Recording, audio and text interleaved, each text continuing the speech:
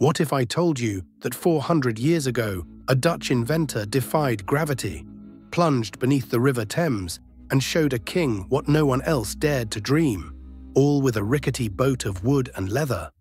Meet Cornelius Drebbel, the restless genius who launched the world's first navigable submarine in 1620. This isn't a tale spun from fantasy, it's history, raw and real, etched in the annals of human daring. Strap in, because we're diving into a story that reshapes everything you thought you knew about the limits of ingenuity. A journey that begins with a spark in a quiet Dutch town.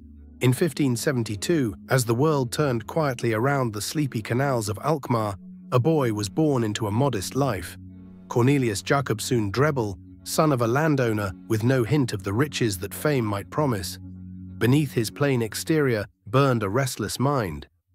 Picture him, a kid with tousled hair, crouched by a canal, watching boats skim the surface, wondering what if a vessel could slip beneath the waves and roam the hidden depths. His schooling was simple, Latin lessons in Alkmaar but destiny called when he apprenticed with Hendrik Goltzius, a master engraver and alchemist in Haarlem. Goltzius didn't just teach him to etch copper, he showed him how to transform the ordinary into the extraordinary. By his 20s, Cornelius had married Goltzius's sister, Sophia, and settled back in Alkmaar, sketching maps and tinkering with machines. In 1598, he patented a perpetual motion machine, a clock driven by air pressure and temperature shifts. It wasn't truly perpetual, science would later debunk that, but it stunned onlookers and put his name on the map. That name reached King James I of England, a monarch hungry for marvels, and in 1604, James summoned him to London. Cornelius packed his tools, his family, and his wild dreams, crossing the sea to a land where his canal-side musings would soon take root, setting the stage for a leap into the unknown. As Cornelius stepped into London in 1604, a city buzzing with explorers charting new worlds and scholars probing the stars welcomed him with open curiosity. King James I, a lover of science and spectacle, brought him to his court at Eltham Palace. The Dutchman didn't waste time. He unveiled his perpetual motion clock, a globe atop pillars, ticking away time, date, and seasons without a crank. Courtiers gaped, James grinned. Then, in 1620, he chilled Westminster Abbey's Great Hall with a cooling machine, turning a sweltering July day into a frosty marvel. Lords shivered, ladies clutched their shawls, and the king bolted from the cold, half amazed, half alarmed. Cornelius wasn't just a showman, he was a dreamer with a bigger plan. Years by Dutch canals and Goltzius's alchemical lessons had planted an idea, a boat that could dive, English mathematician William Bourne had sketched a submersible in 1578, wooden with leather bladders for buoyancy. But it was a paper dream. Cornelius saw beyond it. He wanted a vessel that moved, that carried people through the underwater unknown. James, ever the patron of bold ideas, handed him the resources to try. The River Thames became his proving ground, a bustling lifeline where merchants shouted, fishermen cast nets, and a Dutchman with a gleam in his eye sketched plans no one else could fathom, ready to turn his vision into reality. By 1620, as the Thames flowed steadily through London's heart, a workshop near its banks hummed with purpose. Cornelius Drebbel's first submarine took shape, not a sleek metal beast, but a rowboat reborn. Its wooden frame was cloaked in greased leather to repel water. Six oars poked through, sealed with leather gaskets, under the seats, pigskin bladders tied to pipes controlled the dive, water in to sink, air out to rise. Two snorkel-like tubes, buoyed by floats, stretched to the surface for air. A rudder steered this fragile craft through the gloom. Breathing underwater was the riddle. Skeptics sneered, they'll choke. But Cornelius had a trick. Scientist Robert Boyle, writing decades later, claimed Drebbel heated saltpeter, potassium nitrate in a retort, releasing a gas, likely oxygen, to sustain his crew. Oxygen wasn't named until 1774, but Cornelius, who'd turned sulfur into acid for emperors, could have stumbled onto it. The snorkels backed him up, pulling in Thames air when the chemical magic waned. Modern chemists nod. It's plausible. He didn't work alone. Sons-in-law Abraham and Johannes Kuffler hammered and stitched beside him, Every seam a life or death bet. One leak, one tear, and the river would claim them. The first test was quiet. A few rowers, pulses racing, watched the bladders fill. The Thames closed over them, three feet, six, twelve. The hull groaned but held. When they broke the surface, grinning, Cornelius had done it. The world's first navigable submarine, born of wood, leather, and sheer will, a triumph that would soon face its greatest stage. Sometime between 1620 and 1624, as the years blurred in history's haze, but witnesses like Sir William Brereton pinned it firmly in memory, the River Thames transformed into a stage for the impossible. Picture London in the early 17th century, a sprawling, smoky city of half-timbered houses, its riverbanks teeming with life. Barges hauled wool, fishermen wrestled nets, and children darted through the mud, oblivious to the marvel about to unfold. On this day, thousands gathered from Westminster to Greenwich, their eyes locked on a strange craft bobbing in the current. Cornelius Drebbel's third submarine, his grandest yet. This wasn't the humble rowboat of his first test. This was a beast of ambition, six oars strong, its wooden frame stretched to hold 16 souls, its leather skin taut and glistening under the pale English sun.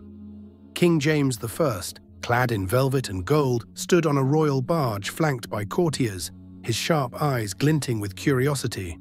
James wasn't just a king, he was a scholar king, author of Demonologia, a man who craved the edge of human possibility. Cornelius, now in his 50s, his hair streaked with grey, exuded a quiet confidence as he oversaw the preparations. This wasn't a mere experiment, it was a declaration to the world. The crowd buzzed with whispers. A boat that sinks on purpose, a merchant muttered, clutching his cap. Madness, a fishwife scoffed, yet she didn't look away. Cornelius ignored them, his focus on the craft. The rowers, twelve sturdy men, likely Thames watermen hardened by years of oaring, took their places, gripping the oars that jutted through leather-sealed ports. Two crewmen manned the bladders, ready to flood them with river water. Cornelius, perhaps at the rudder, gave a sharp nod. The bladders swelled, the bow dipped, and then it was gone. The Thames rippled over the spot where it vanished, only the snorkel tubes bobbing above like the antennae of some strange sea beast. Beneath the waves, at 12 to 15 feet deep, the world shifted. The hull creaked under the pressure, the murky water pressing against the leather skin. Light filtered dimly through the surface, casting eerie shadows across the rowers' faces. The air was thick, a mix of Thames breeze from the snorkels and perhaps that faint chemical tang from Cornelius's saltpeter retort, a secret he guarded closely. For three hours they rowed, two miles downstream toward Greenwich, then back against the sluggish current. Imagine the silence, broken only by the rhythmic splash of oars and the occasional drip seeping through a seam. If James was aboard, and some, like the Dutch envoy Constantine Huygens, insist he was, picture him hunched in the gloom, his royal hands gripping the bench, marveling at fish darting past, their scales glinting like coins in the murk. Historian Henry Hakewill counters he stayed topside, too cautious for the plunge, but the king's presence, diving or not, blessed the moment with royal weight. When the submarine resurfaced, the crowd erupted. A 1621 pamphlet, The Diurnal of Thomas Rugg, captured it. The people roared as if the dead had risen, the Dutchman's boat breaking the water like a whale. Men waved hats, women clutched their children, and James, whether soaked or dry, beamed with approval. Cornelius stepped ashore, his boots squelching, his face alight with triumph. This wasn't just a dive, it was a bridge to a future where humans could claim the deep. A moment of awe that London, battered by plague and war, would carry forward even as the glow began to fade. Yet as the cheers echoed along the Thames, the triumph proved fleeting, for glory is a fickle flame. Cornelius had built three submarines between 1620 and 1624, each larger, each bolder. Yet the English Royal Navy turned a cold shoulder. Picture the scene. Cornelius, his coat threadbare from years of toil, standing before admirals in their gilded chambers at Whitehall. He gestured to sketches of his leather-clad craft, his voice hoarse with passion. It moves unseen, he urged, a weapon to strike from below. But the admirals, their minds tethered to sails and cannons, saw only a curiosity. A toy, one snorted, flicking ash from his pipe. No match for a galleon, another grumbled. The navy, stretched thin by wars with Spain and France, had no room for a Dutchman's dream. Funding dried up like a summer stream. Life grew grim. Sophia, his wife, had a taste for finery. Silks from Antwerp, silver from Prague, that outpaced their means. Once Cornelius had dazzled Emperor Rudolph II in 1610, crafting sulfuric acid in Prague's golden courts, only to be briefly jailed when war erupted. Now in London, he faced a quieter prison, debt. His family teetered on ruin, the Thames dive a fading echo. By 1629, he took a humbling turn, leasing an alehouse near the Strand. Picture him behind the bar, a man who'd once chilled Westminster Abbey, now pouring pints for dockworkers and sailors. The clink of coins replaced the creak of oars, the chatter of drunks drowning out his once grand visions. Yet Cornelius didn't surrender. His hands, calloused from hammers and retorts, kept moving. He perfected a scarlet dye from tin and cochineal, a vivid red that swept European courts, thanks to his sons-in-law Abraham and Johannes Kuffler, who turned it into a thriving trade. He built microscopes that peeled back the unseen, lenses so sharp they revealed the dance of mites on a cheese rind. He crafted thermostats to tame heat, incubators to hatch eggs, each a testament to a mind that refused to rust. The submarines, though, sat abandoned by the Thames, their leather rotting, their wooden bones picked clean by time. Imagine the ache, a man who touched tomorrow, watching it slip through his fingers. His spirit drew others still. A young Robert Hooke, born the year Cornelius died, would later cite Drebbel's microscopes as inspiration for his own micrographia. Alchemists whispered of his saltpeter trick, passing it down like a sacred riddle. But in those alehouse years, Cornelius was a shadow of his former self. Proud, yes, but worn. A man who'd given the world a glimpse of the deep, only to see it shrugged off, yet whose legacy was quietly taking root. Even as Cornelius Drebbel breathed his last on November 7, 1633, at 61, in a dim London tavern, his story didn't end there.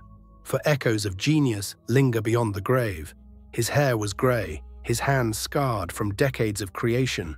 His submarines were gone, lost to decay or scavengers, but their echo lingered like a tide that never fully recedes.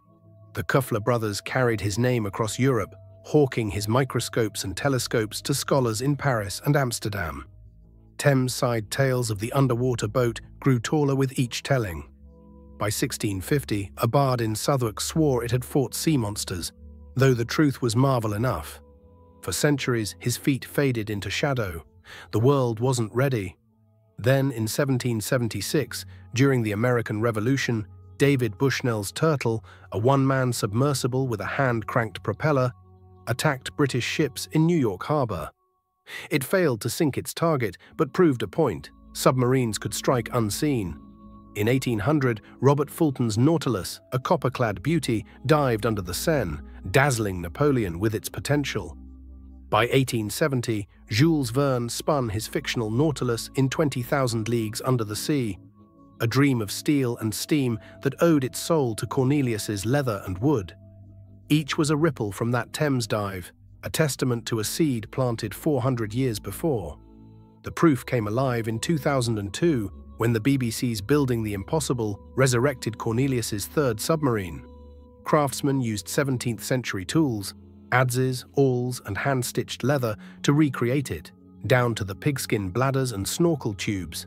On a lake near Windsor Castle, it plunged 12 feet deep, rowers powering it for three hours, just as it had on the Thames. Naval historian Dr. Richard Compton Hall, who oversaw the test, marveled Drebbel's design was crude, but brilliant.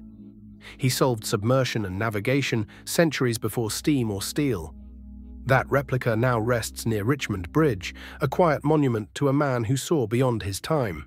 His saltpeter trick, chemists like Dr. Andrea Sella of University College London have tested it.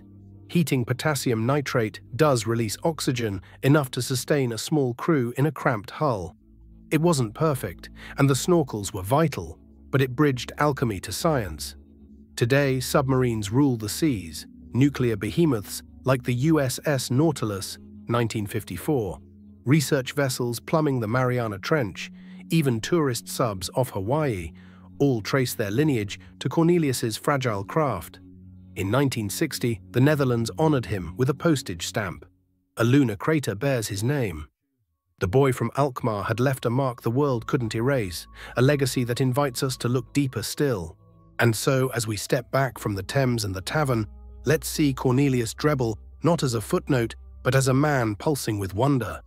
Picture him by that childhood canal in Alkmaar, a boy tracing ripples with a stick, dreaming of what lay beneath. See him in Prague, dazzling Rudolf II with acid and optics, his mind a furnace of ideas even as war caged him. Watch him in his Thameside workshop, grease-streaked and sleepless, stitching leather under flickering lamplight, the weight of skepticism pressing as hard as the river itself. Feel the chill as he rode beneath the waves, King James at his side, the murky deep a silent embrace. This wasn't just a submarine, it was a rebellion against limits, a question. What if, answered with sweat and wood? His life was no fairy tale, doubt dogged him, Courtiers mocked his toys, admirals spurned his vision. Poverty gnawed at him, Sophia's extravagance left them teetering, yet he never stopped. His microscopes unveiled worlds too small for the naked eye, fleas like armored knights, pollen like starry orbs, inspiring Robert Hooke's 1665 masterpiece, Micrographia. His scarlet dye-clothed kings, his thermostats tamed fire. Naval architect William Hovgaard wrote in 1920, Drebbel's submarine, though primitive, proved submersion and navigation were possible, ideas that birthed modern fleets. Bushnell, Fulton, even the nuclear subs of the Cold War all walked a path he'd hacked through the unknown. Cornelius was a bridge. He stood between alchemy's mysticism, turning saltpeter into breath, and science's rigor, testing ideas with his hands. He didn't win wars or fill coffers in his lifetime, but he planted a seed. 300 years later, submarines would rule the seas, tools of war, discovery, and wonder, because one man dared to dive.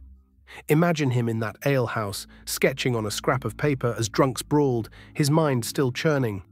He died poor but rich in what mattered, a legacy of possibility. Why does this matter to us? Because Cornelius is every dreamer who's been laughed off the stage. We've all had wild ideas, sketches in notebooks, whispers in the dark, dismissed as folly. He says, chase them anyway, build them, test them, dive into the deep, even if the world isn't ready. His story isn't just history, it's a spark for anyone who's ever stared at the horizon and wondered what lies beyond. A call to the restless, the curious, the brave that resonates with us still. There's Cornelius Drebbel's saga, 400 years old, yet fresh as the Thames tide. Mind blown? Hit like, share this with your crew, and subscribe to Obscure Minds for more forgotten brilliance. Drop your thoughts below. What's your what if? Let's keep unearthing the wild and wondrous together.